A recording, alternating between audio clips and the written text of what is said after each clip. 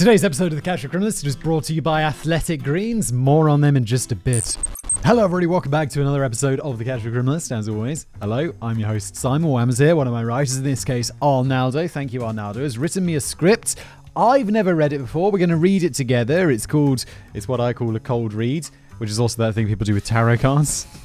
Which is confusing, isn't it? Because this is facts and that is fiction.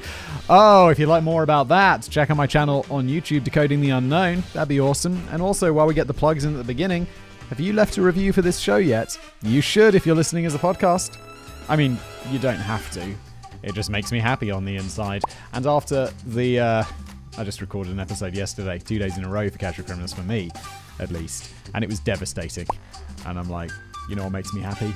Good reviews. It heals my insides, much like a therapist. Let's get into it. This is the tragic history of the murder of Francis Blandy, gentleman tragically murdered in the summer of the year of our Lord 1751 by his own daughter Mary Blandy, murderer, and by Captain William Cranstoun, a Scotsman and also a murderer.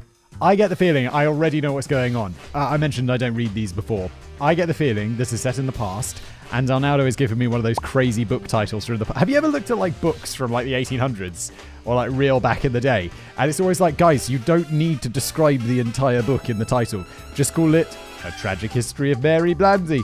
Uh, sorry, Francis Blandy. The episode, the, the document's called Mary Blandy. Because I guess uh, Arnaldo wanted to be brief in the, the title of the file. Um, I get the feeling we're going back in the day. I think this is an oldie worldy episode. Narrated by Signor Arnaldo Tian- Ti- Teodorani. Sorry, Arnaldo. I just realized I've never pronounced your surname before. Arnaldo's Italian. Ah, parliamo italiano. For the delight and enjoyment of the most revered Simon Whistler, Esquire, and his most estimable audience of patient listeners. Esquire means two different. In the UK, Esquire just means a gentleman, like a dude. Anyone can be like, yeah, Esquire. And I realized in America, that means you're a lawyer, right? That's weird. So, uh, yeah, people must think there's a no one no one puts esquire after the name it's, it seems like a very pompous thing to do. It's the sort of thing you'd do sarcastically. Like i always add like random titles and middle names and like I, i'm the first simon whistler. I'm not simon whistler the fourth but sometimes if there's an option for it i'll just say like you know where they're like um you know when there's title name and then like post initial stuff i'll just put random in there i'll put like simon whistler the fourth uh, my, my middle name on my student id was legend for four years just because no one ever checks this. Let's get into it.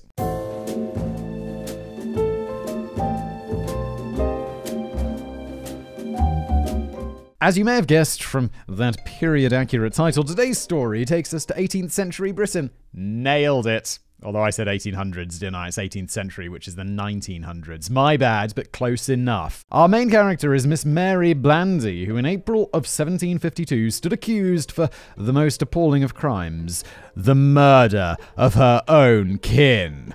More precisely, she conspired with her diabolical paramour, Captain William Cranstown, to slowly poison her own father with arsenic. I don't know why I'm being so dramatic today. It does feel very dramatic, though, doesn't it? Her trial made quite the sensation in Georgian Britain, and it is still cited as a landmark case due to a very early use of forensic medicine by, uh, sorry, Forensic medicine, yes. Sorry, I was going to say some. I, I, just assumed I read that wrong, but it is forensic medicine by the prosecution. I was going to say forensic science. And the verdict is still reviewed and discussed today, as Mary may not have been fully aware of her own actions. We exploring is this a diminished responsibility? This is still a defense to murder, I believe. Uh, perhaps she had been tricked by her lover into dousing Mr. Blandy's food with what she believed to be a herbal remedy known as love powders. Oh, wait, no, she was just tricked. Classic. No, no, no, just put these love powders on his food. It'll be fine. It's good. It's, it's definitely not poison. You're not guilty of murder if you get tricked into murdering someone. I'm pretty sure. That would be insane. It'd be like someone handing you like one of those knives, you know, where it slides into the sheath. And they're like, hey, look, look, look, slides into the sheath. This is great. This is great. Look, I'm stabbing you. And then they hand it to you, but they sneakily switch it out. And they're like, yeah, go on, go on, stab me. jaw. And then they get, I don't know why they'd want it done on themselves, but you get my meaning. That person has been tricked into murder. They're not getting in any trouble, right? Because that would be crazy. So, was Mary a conniving murderer or a love stricken dupe? I shall lay out the facts for you, my dear Reverend Whistler. Wait, why am I Reverend? Does Reverend mean something else in the past? Because isn't a Reverend like one of those religious dudes? Does Arnaldo mean like revered? Because I feel like people were called each other revered in the past. I don't know. Let's move on. And we'll put it to our jury of listeners to issue the final verdict. How exciting. Keeping up with the Blandys. Mary Blandy's exact date of birth is not known. We know that the month was July, the year 1720.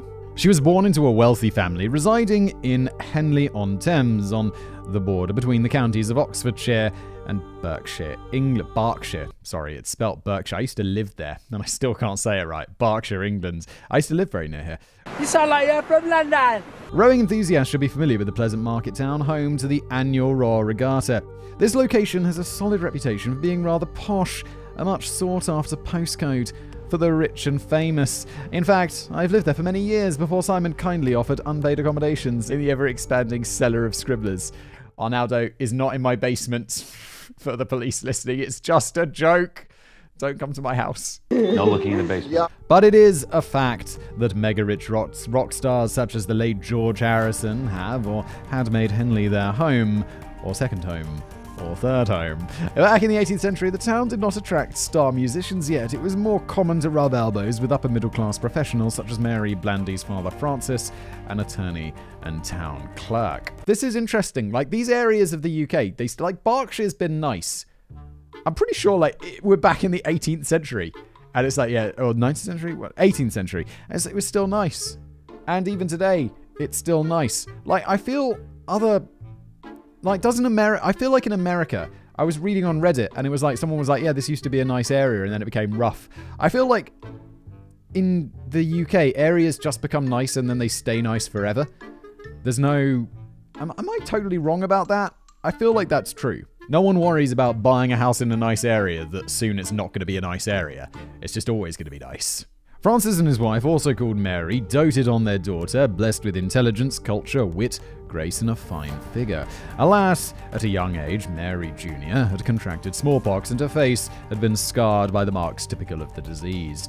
Mr. Francis, being a good pragmatist, realized that his daughter's tainted beauty may not be enough to attract a suitable suitor. Therefore, when Mary reached marrying age, he spread word that her dowry amounted to £10,000, which I'm sure was an extraordinary, absolutely extraordinary amount of money back in the day. In the mid 18th century, that kind of money could have bought you 2,141 cows or 1,459 horses. So it's a lot of money.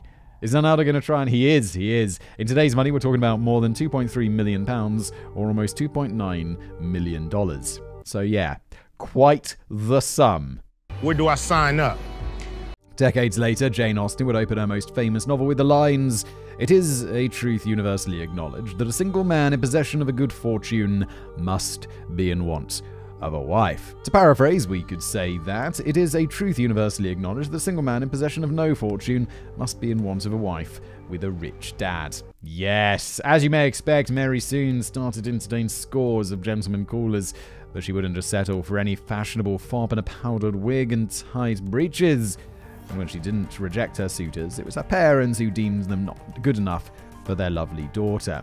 Smallpox sucks. So there's this beautiful young girl, and it's like, oh yeah, you got smallpox, and now your face is scarred forever. And you've you must have seen those photos of people with like smallpox in the past. It is not good. Like it just leaves your your whole like face and body just pockmarked horribly. And uh, yeah, fortunately, we have vaccines vaccines are awesome. It's always like, yeah. I wonder how long an anti vaxxer would be anti vaxxing if we were like, okay, well, we're not going to give you a jab. Well, you don't get a jab for smallpox. We're going to put you in a room with uh, a canister. And uh, inside that canister is smallpox. How quick are they going to be like, give me that vaccine? I mean, it would need to. This isn't a realistic example because you'd need to have the vaccine like, I don't know, weeks before, months before. How long does that take to work? I don't know. But yeah, I'm always like, well, this, the reason people are anti vax is because they don't realize how horrible these diseases that we've essentially eradicated were. Like, just go look at pictures of smallpox if you want a clue. Mm. Mm. And I'm not suggesting that we give Andrew Wakefield smallpox, but it would be, uh, I don't want to ever say smallpox is funny, but I think that could be the one situation where smallpox might actually be funny. At that age, most respectable women in her position had already tied the knot and given birth to scores of children, or had died of some gastrointestinal fever that today could be sorted out with access to clean water. But she was still unmarried, or as she was described back then, she was a spinster at 27. The past, everybody. Today, we would call her simply a single lady, and she was waiting for the right man to put a ring on it. The duplicitous captain. The world started spinning in the right direction for Mary one fateful night when the Blandys attended a dinner party hosted by their friend, Lord Mark Kerr. At the candlelit table, our protagonist locked eyes with one of the guests, Captain William Henry Crouston. Allow me to imagine a swarm of ill concealed passions staining her cheeks in a red as bright as ruby, as deep as sin. I like to picture this first meeting, if portrayed in a Bodice? Bodice? Bodice, right? Bodice ripping romantic level from the likes of Dame Barbara Cartland. I know, I don't know. Who's Barbara Cartland? I get the feeling she's a novelist who writes like historic romance stuff. Okay, I don't know. I could be entirely wrong there. Well, Arnaldo did say she romantic novel, so I guess I am right. I, I could just read this, couldn't I? The covers of these novels usually feature an astonishingly beautiful lady, corset half undone, swooning into the muscular arms of some period inaccurate hunk, sporting long hair and pecs so chiseled you could play the bongos onto them. She was made a dame for writing. She writes no romance novels. Wow. Okay. A quick scan through the pages of such romances may introduce the virgin reader to a cornucopia of suggested euphemisms such as Cue the sax solo, Jen! Lascivious, heaving, tumescent, turgid, throbbing, manhood. Holy dame. But I'm afraid, my dear listeners, that Captain Crouston was no Mr. Darcy, as portrayed by a young and humid Colin Firth. Contemporary descriptions render him as short, overweight, and scarred by pox marks. Nevertheless, he appeared as an adequate prospect to both Mary and her parents. He was an officer with the Royal Marines with solid battle experience. Things women used to look for in a husband battle experience. So, with all due respect, are you sure this is our best option? I mean, I suppose that is still kind of sexy, isn't it? In fact, he had once fought for the Jacobites against Her Majesty's government. Traitor! To oversimplify, Jack Jacobitism was a religious movement, very prominent in Scotland, which advocated for the restoration of the Stuart dynasty on the British throne. Many Scottish nobles had joined the Jacobite ranks, but had later returned into the fold of the British Army, and Captain Crouston was one of them. I wonder how your promotion uh, uh prospects are after you've betrayed your army, gone to fight for someone else, and come back and be like, no, I was wrong. Looks like you're going to be a captain for a while, mate. He was, in fact, the fifth son of a Scottish peer related to many nobles north of the border. Sure, a fifth son was expected to inherit little more than hot air and kind words from his parents' estate, but Cranston belonged to nobility. Nonetheless, Francis Blandy encouraged the courtship, welcoming the captain into his home. The romance was swelling, but it soon burst. Francis Blandy's good friend Lord Kerr revealed that Cranston had already got a wife, and he had a child living in Scotland. Uh oh. It appears that on the 22nd of May, 1744, Cranston married one Anne Murray in Edinburgh. The marriage had been sealed in secret as Anne was Roman Catholic while William was a Presbyterian. Oh no! Two people of different parts of the same faith getting married. Are these the same faith? Presbyterian and Catholic, it all sounds like, you know, some weird offshoot of Christianity, doesn't it? Who cares? On the 19th of February 1745, Anne had just given birth to a baby daughter. When confronted with these facts, the captain vehemently denied being already married. In his own version, Anne Murray was merely his mistress. He had at one time promised to marry her, but on the condition that she converted to Protestantism. Presbyterian, Catholics, Protestants, I'm so. I don't know. I. Why is, why is one religion so confusing? I don't understand. When she refused, it called off the engagement, but Mr. Blandy became highly suspicious of Cranston and made further inquiries. In early 1748, Blandy learned that Anne Murray had taken action in Edinburgh's commissary court to have the marriage declared legal. Blandy confronted Cranston again, demanding the truth. The captain was cornered, but he insisted that the two had never been married. He was confident the Scottish court would rule in his favour. Mr. Blandy was distrustful, and yet his wife and daughter were squarely in Cranston's corner. They even invited the captain to stay at their place for six months months. Whilst he was there, Francis Blandy received a letter from Edinburgh carrying interesting news. On the 1st of March 1748, the court had issued its verdict. William Cranston and Anne Murray were indeed man and wife. Oh no! This is like a, a romance novel, isn't it? With more smallpox than, than typical. Botanical remedies. I realise that thus far this episode is more like casual civilist rather than casual criminalist, but don't worry, we'll soon get to the point where someone dies in atrocious fits of pain for your entertainment. yeah, you sickos. You are insane. Captain Cranston reassured his prospective father in law that he would fix this whole mess. He set out for London to consult with his attorneys and file an appeal. A few days later, Mary and her mother also visited London. Mrs. Blandy had been suffering from gastrointestinal trouble and needed to see a specialist. The specialist is like, you don't really treat this. That clean water we talked about before, but we don't have that. During those days, Mary evaded her mother's watchful eye to escape to St. James's Square. There she met frequently with her beau, and together they decided to arrange a secret marriage. Back then, the Church of England allowed for marriages to take place anywhere, provided they were celebrated by an ordained clergyman. No paperwork required, no questions asked. Important lesson there don't ever get too drunk at a party with a clergyman present.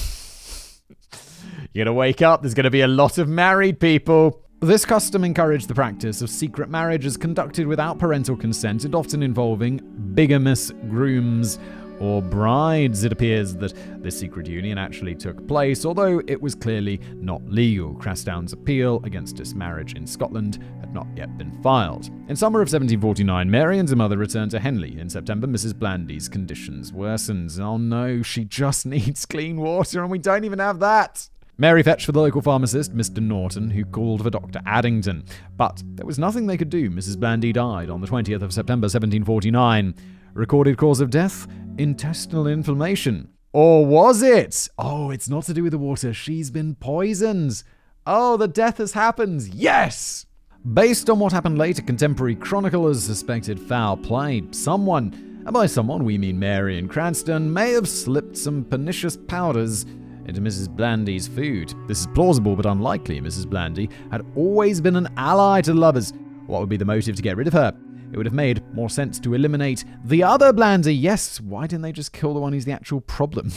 but let's not get ahead of ourselves. After the death of his future mother in law, Captain Cranston returned to Henley, even though Mr. Blandy was by now openly hostile to his presence.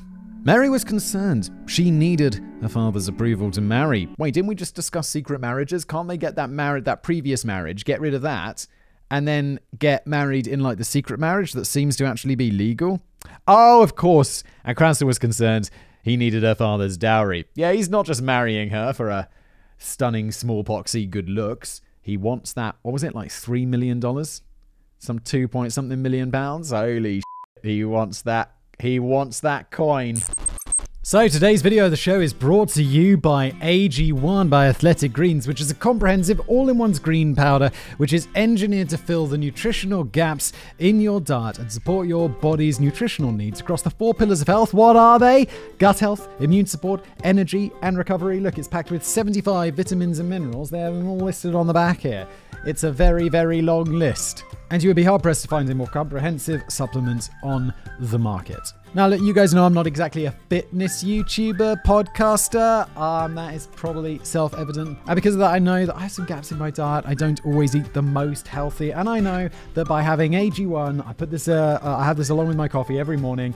I know it sort of fills those gaps that I for sure have. It also tastes great. There's less than one gram of sugar in there, but despite that, it tastes amazing. It's also dairy free, paleo, vegan, keto, low allergen, and low calorie which is brilliant. I kind of I, I, feel like with this with the coffee, I feel like I'm drinking less coffee because it sort of sustains my energy somehow. Don't know if it's sort of you know placebo effect or whatever, but I like it and it makes me feel good and it's got all those uh, got all those extra vitamins and minerals that I need. So if this sounds like the supplement that you could be after, all you need to do is go to athleticgreens.com forward slash TCC. And not only can you order your athletic greens there, but you also get a bonus. You get five of these individual travel packs, which are handy for when you're on the road. And also you get a year's supply of vitamin D, which is fantastic. Again, that's athleticgreens.com forward slash TCC, or there's a link below. And now back to today's video. A plan started to form Cranston mentioned to Mary that she knew one Mrs. Morgan back in Scotland, a cunning woman, an expert at making love powders. Uh oh. By slipping them into Mr. Blandy's food or drink, he would feel better disposed towards the captain and towards the idea of the two lovers marrying. The concept of a love powder was quite widespread at the time. Countless quacks would peddle these popular remedies, claiming they could soften the attitude of the sternest of foes, or even help people fall in love. While they grind it up in there. What's in there? Yeah, yeah, no, it's just morphine. It's just heroin. That's it. Softens people up. I mean, heroin does, doesn't it? It really does. It really does. What heroin? I won't even dignify them with a rhetorical question. Did they actually work? Because of course they f- didn't. Ah! Typical ingredients of such powers included henbane, also known as stinking nightshade. That sounds poisonous. like I know nightshade is poisonous, but I get the feeling the stinking variety is is not less poisonous somehow. Which sounds like an insult you'd hurl against a herb. Must be blood. Tui, that's disgusting. You stinking nightshade, you filthy piece of botanical sh. Oh, Aldo. You and me both are dads, and we love those dad jokes. And it deserves an insult considering that it contains the poison scopolamine. Oh no! Now, we don't know the alleged composition of Mrs. Morgan's alleged love powder. I think we're safe from uh, getting in trouble for this one, Arnaldo. It was the 18th century. We're going to get sued by the Blandy estate. I mean, I don't think so. It's been a few hundred years. There's rules against that shit, right? oh no. Allegedly. We only know that Cranstoun travelled all the way to Scotland to acquire it and returned to Henley in August 1750. Once again, the captain made himself at home in the Blandy residence. Talk about unwanted guests. It's like, why is he allowed? Get out! Get out! The captain stayed until November 1750 and somehow managed to slip some pinches of love powders into the Blandy's tea. It wouldn't be that hard if you're living in someone's house to slip poison into their tea, would it? According to later testimony from Mary herself, her father did seem to mellow. At the same time, though, strange events took place. The house appeared to be haunted by some kind of poltergeist. Uh oh. It's not a poltergeist, but uh, you people are getting poisoned by something that's making you see things. Mary could hear disembodied hands rapping on walls, invisible feet rustling about, doors banging and slamming. On one occasion, she even heard some unearthly Scotch music. Truth. Truth. We've all heard bagpipes and we've all been like, get that devil's music out of here! The haunting culminated when one night a spectral presence resembling Mr. Blandy burst into Cranston's room. Were these early premonitions of the doom that was to fall the House of Blandy? Sure enough, Francis Blandy's health soon began deteriorating. The 62 year old already suffered from gout, but he was now beset with colic and heartburn. These are these are slovenly diseases, aren't they? Like gout's that one you get from eating too much good food, and also heartburn. And I don't know what colic is. Isn't that something babies get? Like if a colicky baby? But heartburn's also you ate too much spicy food, didn't you? Did you overdo it on the tikka masala? Come on, his teeth started to fall out, but you gotta be brushing those. The love powders had appeared to soften his stance towards Cranstown, but it was only a temporary phase. Mr. Blandy could not stand the sight of Cranstown and told Mary that he should not show his face around the house. Not until he had sorted out his legal troubles with his Scottish wife, at least. Unbeknownst to Blandy, the captain's appeal had already been lodged with the Scottish courts, and it had already been rejected. The captain and Anne Murray were legally married, for all intents and purposes. During the winter of 1750 to 51, Cranstoun wisely acquiesced to Blandy's will and retreated back to Scotland. From there, he sent a packet to Mary in April 1751, which contained some Scottish pebbles. These were just that pebbles, but back in the day, they were all the rage in higher society as they were used to decorate flower beds and potted plants. Okay. Aren't pebbles kind of free? Just go to the beach and get some pebbles. Alongside the pebbles, Cranston sent some white powder, AA. This was labelled as a substance to properly clean the decorative pebbles, but in his letters, Cranston described it as Mrs. Morgan's love powders, and he asked Mary to continue the treatment, mixing the granules into her father's tea. Allegedly, Mary had some doubts as to the effectiveness of the concoction, and even raised concerns about the effects on her dad's health. Mary, you're a bit of a dum dum, aren't you? These two guys are enemy enemies. He keeps sending you powder that he's asking you to mix into your dad's tea, and he's getting really, really sick. And you're like, oh, it's just a love potion. Nonetheless, she executed the orders of her beau, and the consequences uh, would soon become apparent. A cruel gruel during June of 1751, Francis Blandy felt sicker and sicker. Not only him, two members of staff, maid Susan Gunnell and cleaning woman Anne Emmett, had the bad idea of drinking some of his leftover tea.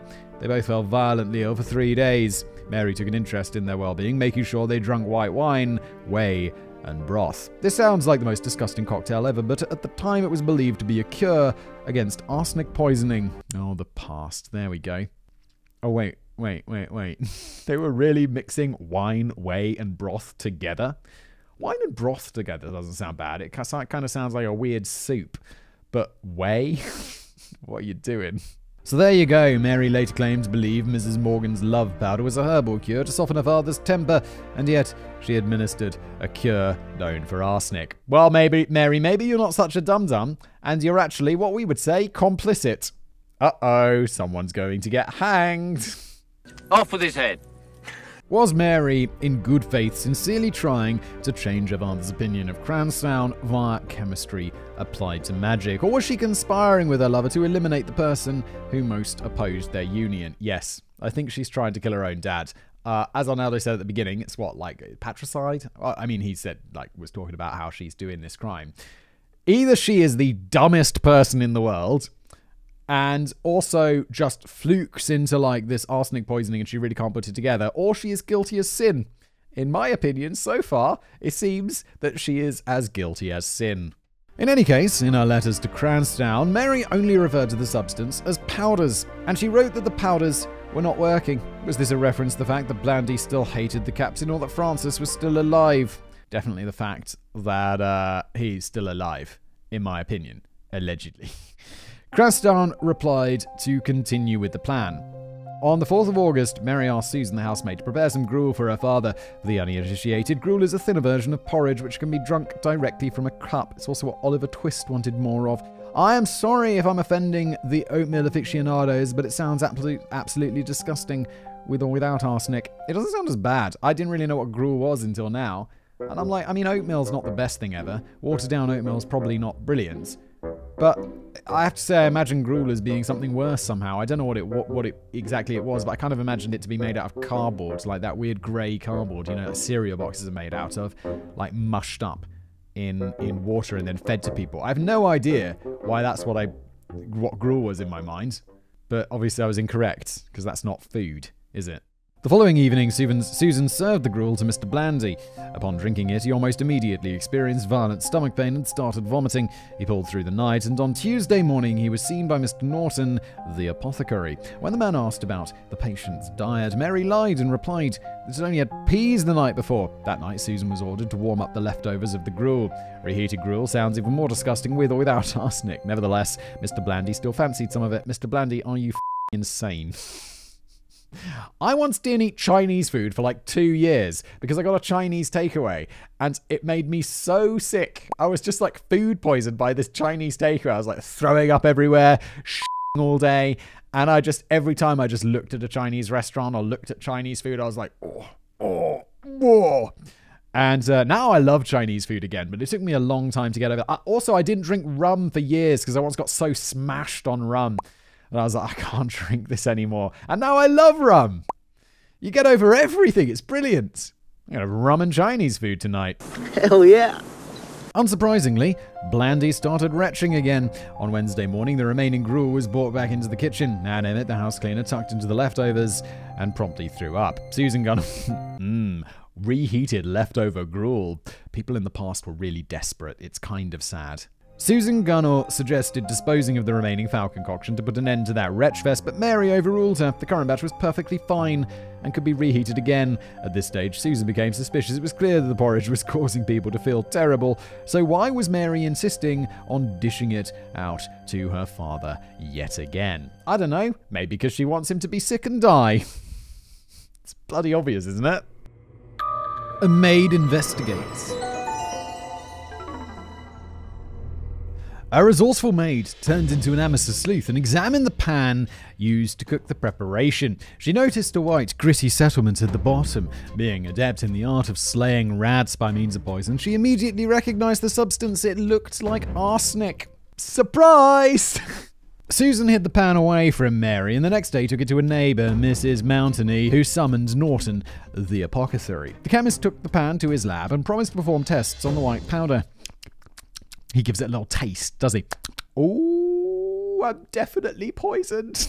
On Friday, the 9th of August, the Blandys were visited by Mary's maternal uncle, Reverend Stevens. Susan called him aside and confided to him a terrible suspicion. Mary was trying to poison her own father. Stevens was appalled at the news and advised Susan to speak to Mr. Blandy. The next day, Susan mustered her courage and spoke to Blandy. After an initial moment of shock, the man realized that this could indeed be the case. It's because he feels like he's been horribly poisoned many times and his teeth have fallen out. He wondered who could have given the poison to Mary, and I wonder. And Susan suggested Cranstoun. Francis exclaimed, Oh, that villain! I remember he mentioned a particular poison that they had in their country. Had I been in his place, I would have immediately escaped that house, or at least rejected any other meal served within its walls. But clearly, Blandy was endowed with more fatalistic courage, and he simply went downstairs to have breakfast.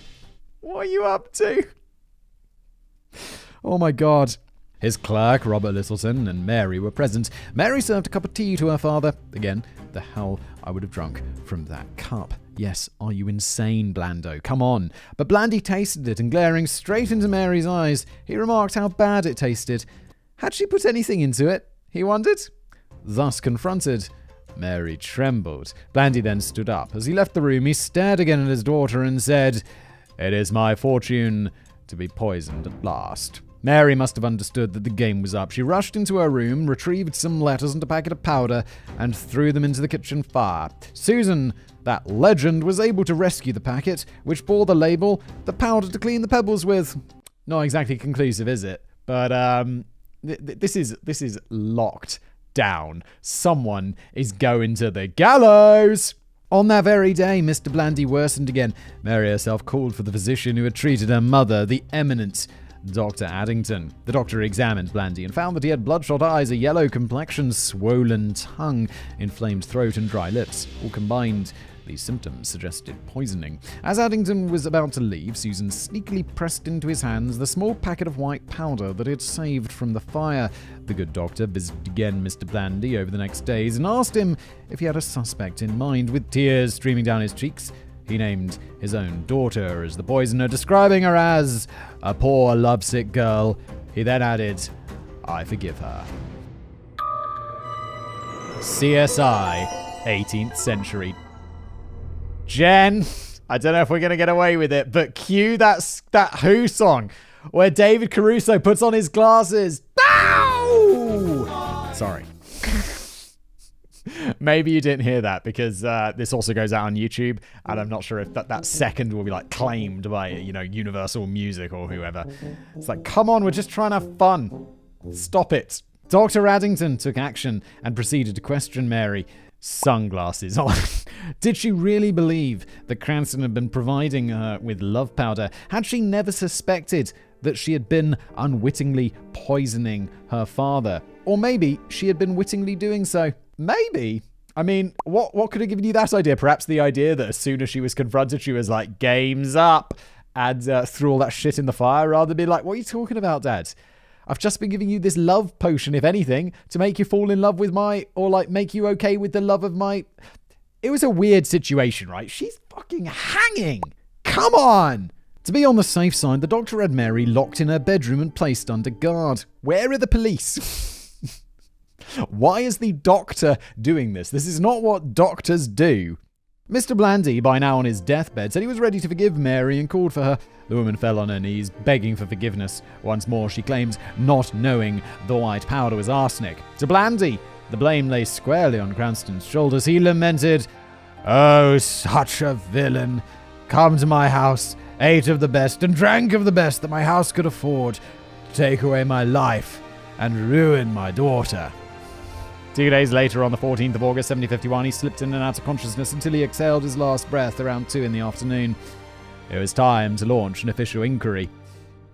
The use of forensic medicine in criminal matters was still in its infancy, but the seriousness of the case demanded for some serious scientific muscle. Yes, arsenic. I'm now poisoned. Dr. Adding was joined by a team of medical professionals to perform an autopsy. These were the local apothecary, Mr. Norton, a surgeon, Mr. Nicholas, and another physician, Dr. Lewis. Yes, surgeons. Uh, they, they use. Um, I think they even still are today in the UK. Like, if you become a certain level of surgeon, you're not a doctor anymore. You go back to being a Mister, which is like super weird. But apparently, it's some like you know, if you're Mister as a surgeon, they'll you know like you know some dickhead will be like, oh, it's not Mister so and so, it's actually Doctor so and so.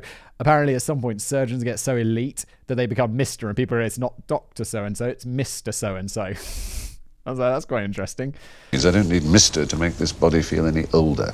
Addington's observations are stomach churning, as you would expect from a post mortem. For example, he found purple spots on the victim's heart, black stains in his lungs, and a peculiar discoloration on his liver and spleen.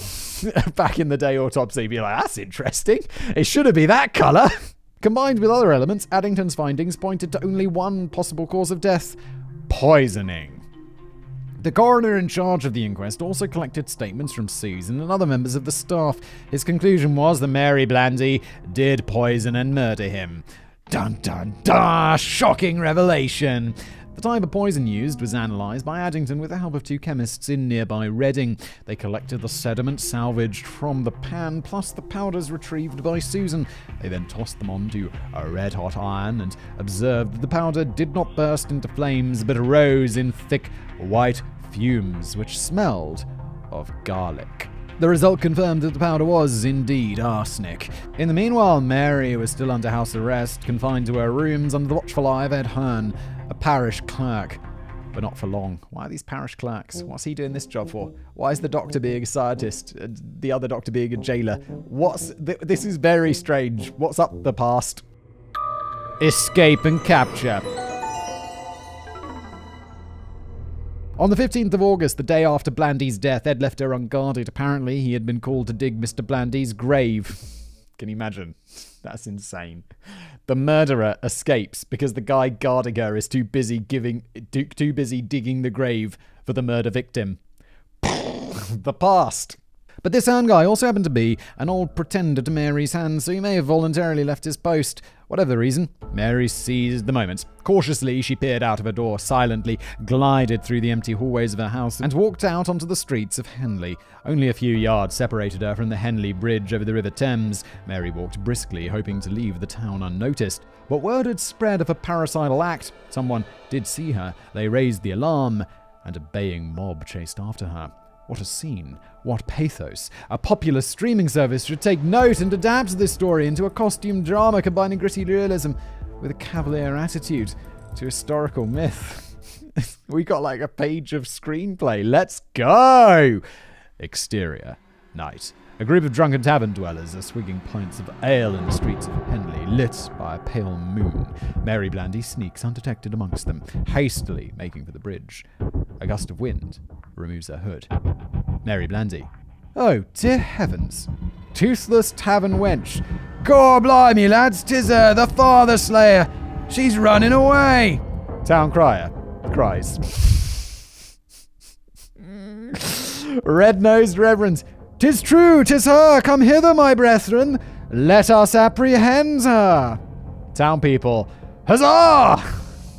A mob of drunken town people give chase. Somehow, they're now equipped with pitchforks and torches. A chimney sweeper is trampled by the mob as he falls on the ground. A louse bites him. He contracts typhus. He coughs and dies.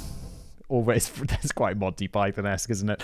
I have to say, I did, I, I do think, I, I think it would be totally illegal, copyright-wise. But there's so many scripts for movies and TV shows that are never made, or pilots that are never aired, and the, the scripts make their way onto an amazing website. There's two of them. Um, oh, what's the, the big one's called Drew's Scriptorama, and it's got like there'll be like movies where scripts were written like 10 years ago and then you know 10 years later they make a different version of the script like and I thought it would be a great idea for a YouTube channel to do like table reads of these, to get people to sit down and like so someone would narrate, someone would read the different characters, and you just play it out in like, uh, you know, not really acted, but like an audio play sort of way. Uh, I thought that'd be brilliant for all these unmade movies because I've just read my way through entire scripts of movies that have never been made, and it plays out in your head, and it's amazing. Um, but I don't think that that would be allowed copyright wise, but it would be awesome. Mary Blandy, you scurrilous rabble, you shall never catch me. The mob has almost caught her. Captain Cranstoun emerges from the river below. He vaults over the parapet of the bridge and faces the mob. His moist white shirt clings to his sculpted pectorals. His breeches are so tight the audience has difficulty breathing. Isn't this the short, fat guy who has smallpox scars? Captain, you heard our rapscallions, whomever shall. Oh, sorry, he's Scottish. A Scottish accent. God, I'm not even going to try. Sean Connery is Scottish, yes? I'm not, I'm not going to try, it's too bad. You heard her, rapscallions. Whoever shall take the step forward shall taste my blade. I tried, and it was horrible. Please don't hate me. A group of men take a step forward. The captain whips out his tumescent katana, turgidly throbbing away at the oncoming attackers. Tumescent means erect. They all scream in pain. They contract sepsis and die. the toothless Davenwich creeps from behind with a dagger. Mary intercepts her and sends her flying into the river with the move with a move of Aikido. The wench accidentally drinks the unsanitary waters of the Thames. She contracts cholera and dies. The mob retreats. Mary Blandy.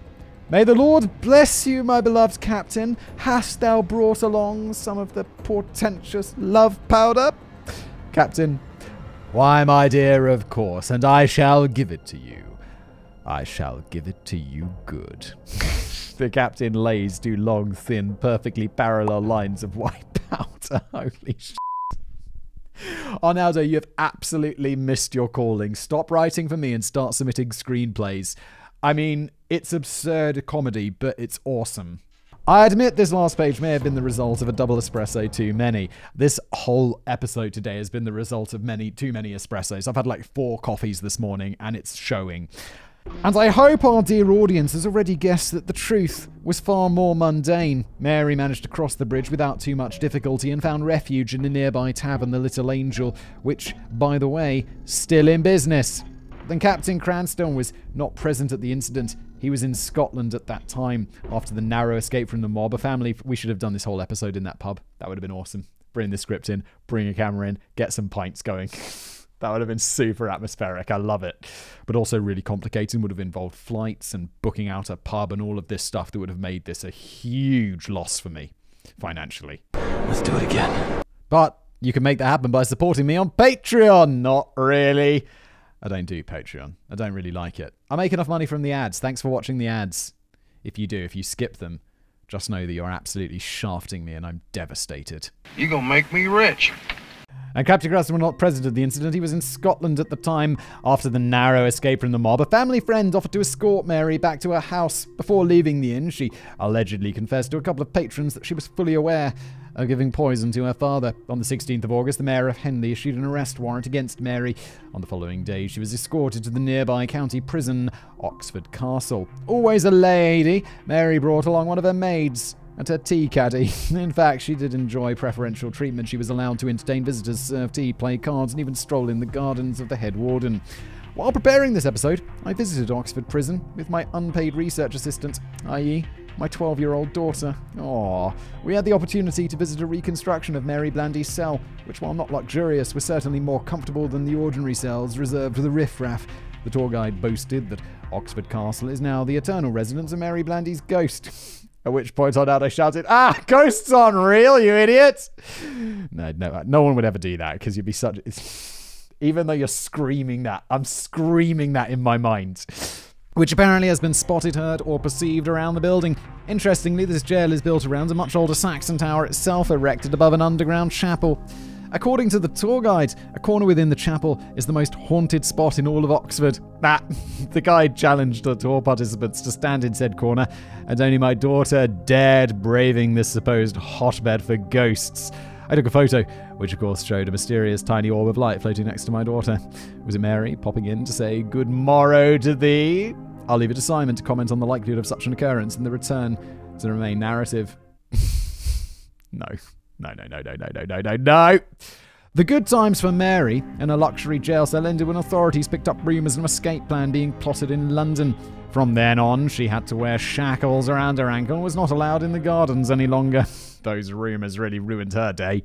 She wouldn't have to suffer these humiliations for long, as the day of the trial was approaching. And also, back in the older days, they were like, guilty! And uh, any appeals? No, no, no, you go right to the hangman right now. Maybe we'll execute you tomorrow if we're feeling generous. And nowadays, it's like, how long's he been on death row? 20 years? Dude. Manslaughter or murder? Back in the 18th century, the prosecution at trials was initiated and funded by relatives of the victim. That sounds fair. But in this case, the victim's relatives were also relatives of the accused party. Understandably, they didn't want to pay for a prosecution. As Mr. Blandy had been a town clerk, Henley's town council could have footed the legal bill, but those cheapskates refused to do so. Instead, they petitioned the Secretary of State, Duke of Newcastle, asking for the government to pay for the prosecution. Wow, so in the past, if you just murder poor people, that's fine, because then no one could pay for the prosecution. Ha! The government agreed, appointing three lawyers. Mary also hired three defense attorneys, which was rather uncommon at the time. The trial eventually took place on the 3rd of March 1752 before the Oxford Court of Assizes, to be presided over by Judge Heneage Leggy. Nope, no idea how to pronounce that. yeah, me neither, Arnaldo. and Sir Sidney Stafford Smythe. Great name. The quadruple S right there. The prosecution called Dr. Addington and the other medical professionals as witnesses. They confirmed that the substance being fed to Mr. Blandy was arsenic. Next, Susan and the other house staff testified that Mary had been in possession of the powder and insisted her father be served the same vomit inducing gruel again and again. This is a slam dunk case. Now, I should point out that nobody had actually seen Mary mixing the white powder with her father's food or drink. Nonetheless, Mary admitted to feeding the substance to Mr. Blandy. What are your three lawyers up to? Come on, get to it. But the thesis of the defense was that she was unaware of the true nature of the compound. To her, it was harmless love powder, not arsenic. Okay, that does make a little bit of sense. In April 2022, a stage production at Henley's Kenton Theatre has reenacted Mary's trial. At the end of the performance, the audience was asked to play the part of the jury. Their opinion was that Mary's premeditation culpability could not be proved beyond reasonable doubt. The final verdict was manslaughter. I contacted local historians, including Mrs. Hilary Fisher in Henley, to ask their opinion on the Blandy case. To quote their general views, by the way, Arnaldo, this is some above and beyond right here. You went with your your 12 year old daughter to the jail. You like called a local historian. Epic. Quote. Mary was no starry eyed teenager on her first date. She had heard all the bad reports about Cranstoun, and she herself had found evidence of his duplicity. I find it hard to believe that a mature, reasonably intelligent, reasonably well educated woman of the world didn't stop to question what she was doing and continued doing it, even when it was obviously making her father ill. I would convict her of murder in the knowledge that she would probably not serve more than 15 years. Oh. Come on, old timies, aren't we gonna hang her? she seems pretty fucking guilty. So these are the contemporary opinions. But what did the Oxford jury think back in 1752? After barely five minutes deliberation, they returned their verdict. Mary Blandy was guilty of murder. Then Judge Legge addressed her. You are convicted of a crime so dreadful, so horrid in itself that human nature shudders at it. The wilful murder of your own father. That father with his dying breath forgave you. May your heavenly father do so too. Now, Nothing now remains but to renounce the sentence of the law upon you, which is that you are to be carried to the place of execution, and there hanged by the neck until you are dead. And may God, in his infinite mercy, receive your soul. The execution took place on Monday, the 6th of April, 1752, so basically a month later, not immediately. Mary had spent her last days either praying or writing letters to King George II, hoping for a pardon that never arrived.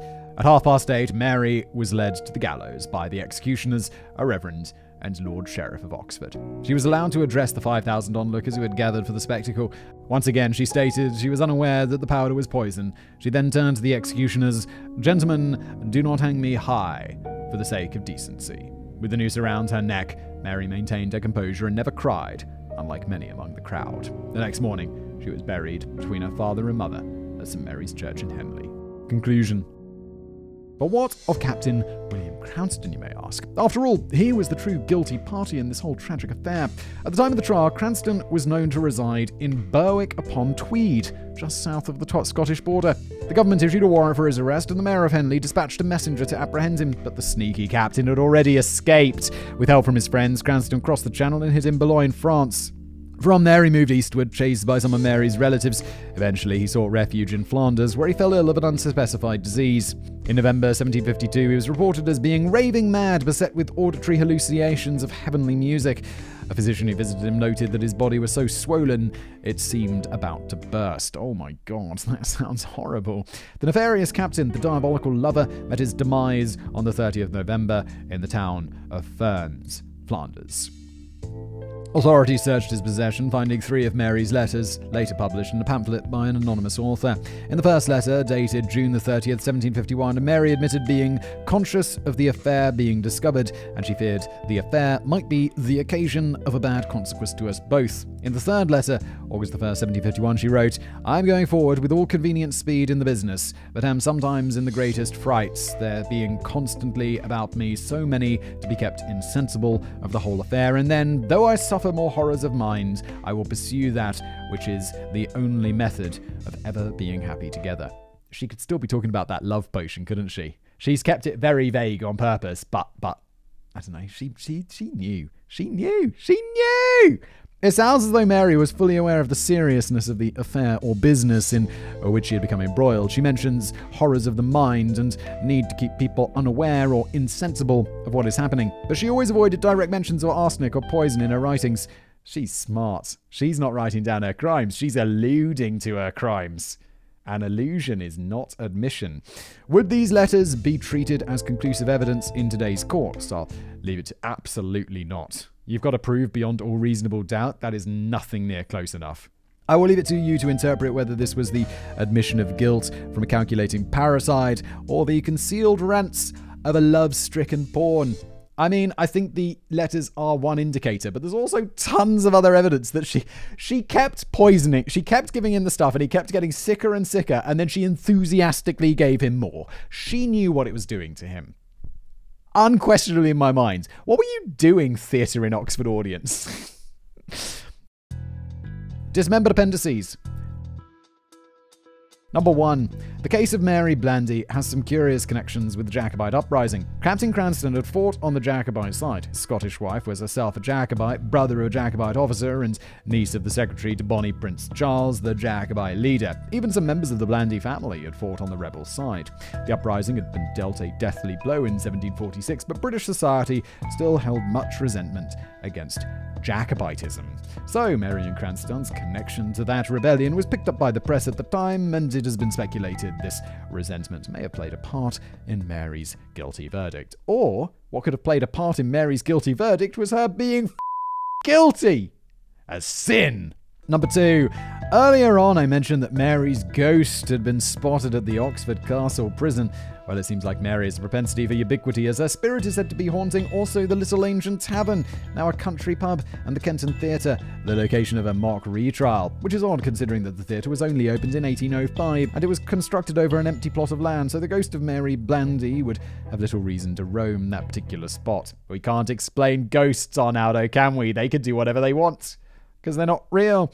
I've always found it interesting how people who led relatively normal and sedentary lives after death become some sort of wizard, time traveling, space warping ninja, capable of appearing in several locations, often at the same time, and able to interact with the material world in unexpected ways. Anyways, I'm not questioning here the veracity of Mary's ghost sightings.